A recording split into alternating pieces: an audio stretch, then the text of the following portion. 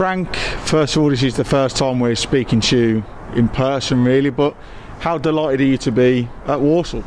Uh, yeah, buzzing when I when I first got the the message that I might be coming here. I was buzzing, to be fair. Just uh, after obviously my Scunthorpe loan got finished, uh, I just wanted another crack at League Two, really. And uh, when the opportunity came, I was really buzzing to come here. It's a big club, big history. Um, and yeah, just hoping to crack on really and, and do as well as I can for myself, but also for the for the team as well. Hopefully, by getting in them playoff places. And somebody who's experienced League Two, you know, it must be good for you to come back out for what isn't your first loan, really. Yeah, well, I like to say I know League Two really, but not really. I've only played like seven, seven or eight games. Um, but I, I feel like in those games I did sort of learn quite a bit that it's a very physical league. It's um, it's yeah, every game you come kind of come out feeling like you've had a battle every every fixture. So yeah, learning from that, just gotta keep being as clever as I can on the pitch, uh, with the ball, without the ball, and just yeah, do as well as I can really. Yeah. And you got a taste of, you know, first team action for for us last week in the, the three-one win over Port Vale. What was it like for you to come in? To a, you know a new surroundings and straight away get yourself in, you know an appearance really. Well to be fair I was buzzing when uh, the gaffer gave me the, the chance to go on the pitch because it's just been been such a while obviously with, with my injury. Uh, but yeah it felt great to be back out there. And we was uh, defending the lead at the time. So I just went out there just worked as hard as I can which is predominantly like what, what I love to do. I love chasing I love pressing I love it also the energy and the the sort of freedom the gaffer gave me to sort of just go for it. Like it wasn't like we all just sat behind the ball and, and shuffled side to side. Like I went for it like get after them which was which was my game. I loved doing that.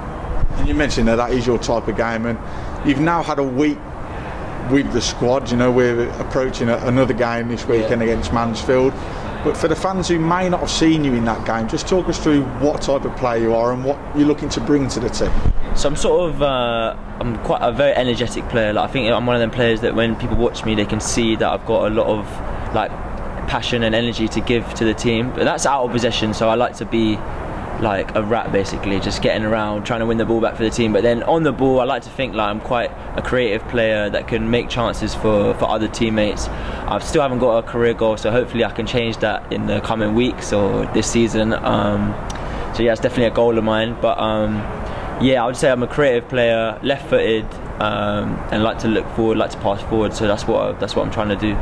Is it all about being patient for you as a, a loan player coming in and when you do get your opportunity, it's all about making that instant impact, really, isn't it? Yeah, I feel like being on loan's a bit of a weird one. Like, you obviously are part of the team, very much so, but um, yeah, like you, are just trying to do as well as you can whilst you're here because you never know where you might end up next season. You never know what's going to happen in football. It can change all so quickly. Like it's a crazy sport where you see players go from one place to another real quickly. So I'm just trying to do as well as I can um, for the team, but also for myself, and just see see what happens really.